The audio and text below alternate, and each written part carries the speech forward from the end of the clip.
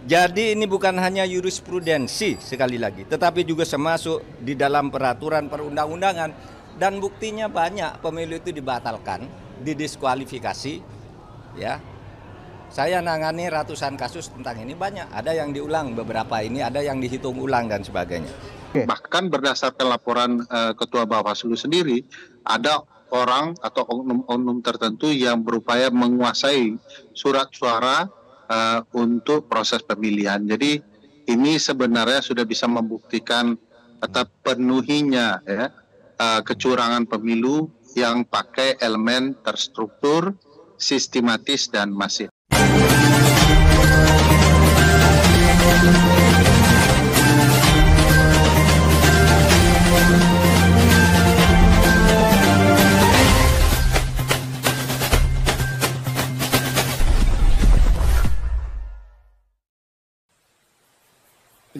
Lupa subscribe. Jangan lupa subscribe. Assalamualaikum warahmatullahi wabarakatuh. Sahabat BN, jumpa kita kembali. Saya kembali mendoakan sahabat, mendoakan kita semua, mendoakan seluruh bangsa Indonesia agar mendapatkan keberkahan hidup dari Allah Subhanahu wa taala dan agar kita semuanya diberinya petunjuk ke jalan yang benar. Sahabat BN, persoalan dugaan kecurangan pemilu kali ini terutama pada dugaan kecurangan pilpres pemilihan presiden dan wakil presiden di samping dugaan kecurangan pada pileg pemilu legislatif sangat-sangat kentara dan benar-benar tidak bisa lagi disembunyikan dengan cara apa pun. Ini sudah bagaikan bergelanggang mata orang banyak. Bukan lagi bersuluh batang pisang. Tetapi sudah bersuluh matahari. Sudah terlihat oleh masyarakat luas. Dalam hal ini, apa sesungguhnya sebagai solusi dari dugaan kecurangan ini yang bisa dilakukan untuk menciptakan hasil pemilu yang benar-benar melahirkan pemimpin yang tidak dikarenakan dugaan kecurangan pemilu ini, kita saksikan tayangan berikut ini. Mahfud MD mengingatkan MK, KPU, dan Bawaslu bahwa kecurangan terstruktur, masif, dan sistematis itu ada dalam hukum pemilu dan ada jurisprudensinya. Mahfud MD yang juga mantan ketua Mahkamah Konstitusi memberi contoh dirinya pernah memutus pilkada ulang di Jawa Timur dan mendiskualifikasi hasil pilkada di Bengkulu Selatan. Dan setelah menjadi dasar, vonis-vonis lain untuk selanjutnya masuk secara resmi di dalam hukum pemilu kita. Jadi ini sudah menjadi jurisprudensi dan juga menjadi aturan di undang-undang, di peraturan KPU, di peraturan Bawaslu itu ada. Gitu. Pelanggaran terstruktur sistematis dan masif itu.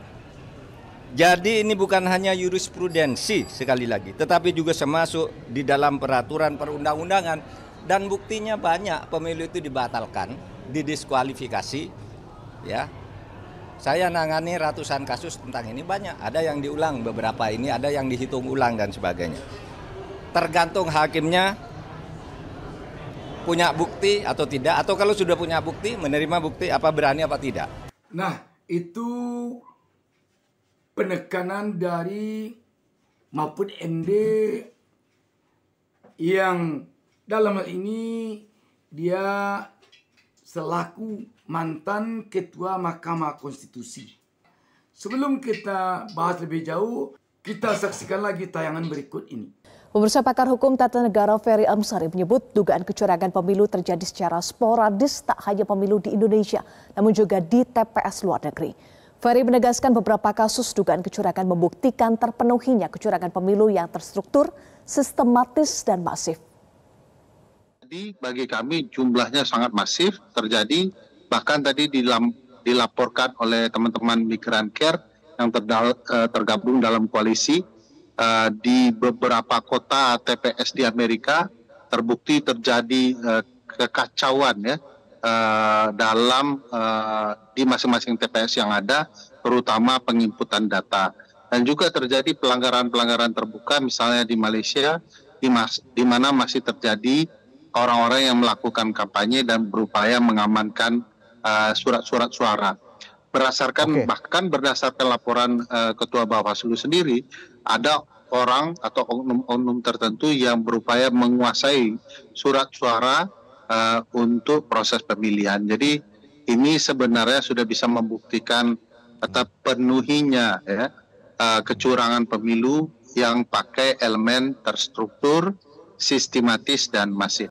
Kita sudah menyaksikan pendapat dari Profesor Dr. Mahfud MD SH kita tahu di samping dia seorang guru besar hukum tata negara, dia juga pernah menjadi ketua Mahkamah Konstitusi dan kita tahu Mahkamah Konstitusi ketika dia pimpin benar-benar punya gezah yang begitu tinggi. Benar-benar punya wibawa.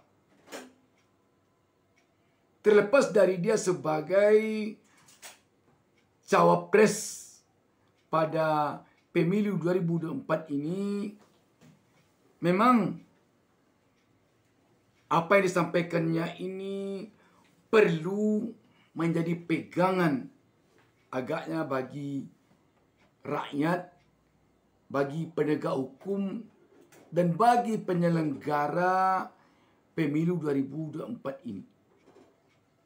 Dan kita juga telah menyaksikan apa yang disampaikan pakar hukum tata negara Ferry Amsari ini.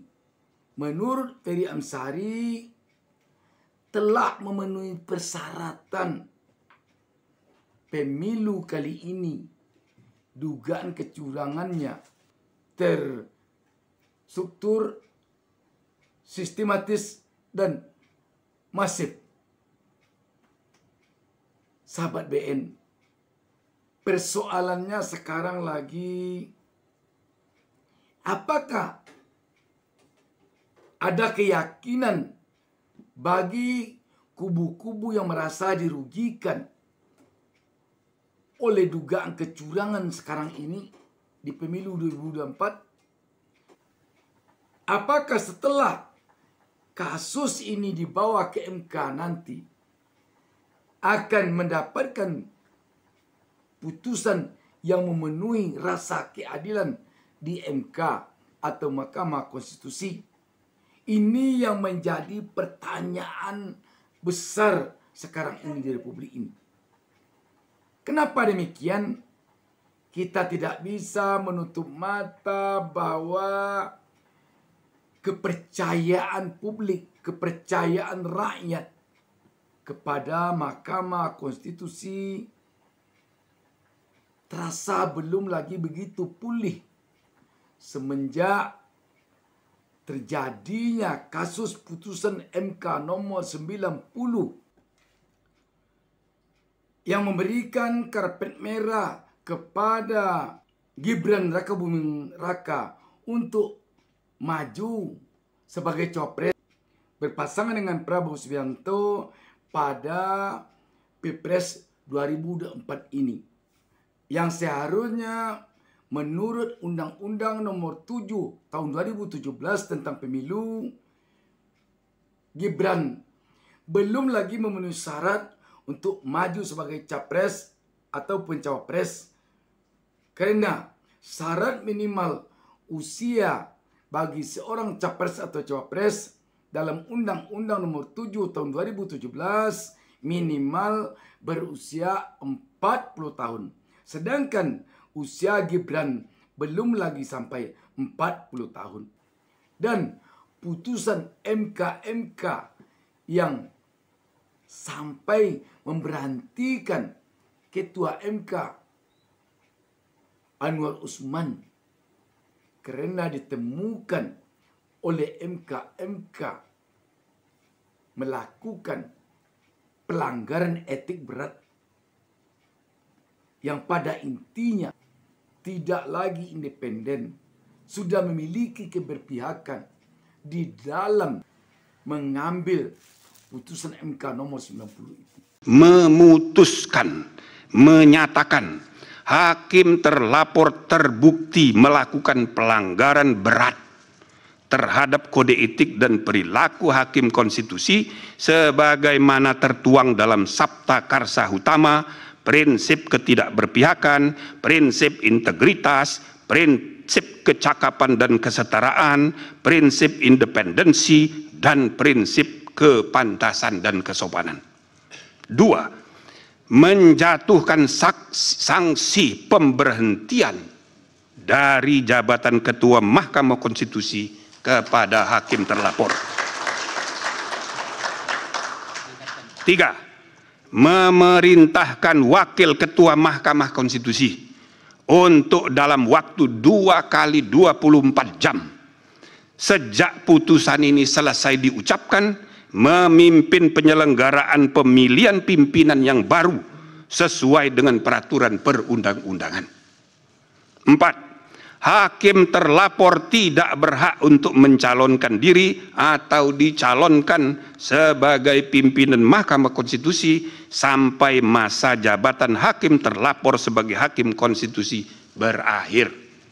Lima, hakim terlapor tidak diperkenankan terlibat atau melibatkan diri dalam pemeriksaan dan pengambilan keputusan dalam perkara perselisihan hasil pemilihan presiden dan wakil presiden, pemilihan anggota DPR, DPD, dan DPRD, serta pemilihan gubernur, bupati, dan wali kota yang memiliki potensi timbulnya benturan kepentingan. Makanya yang jadi pertanyaan oleh kita sekarang ini,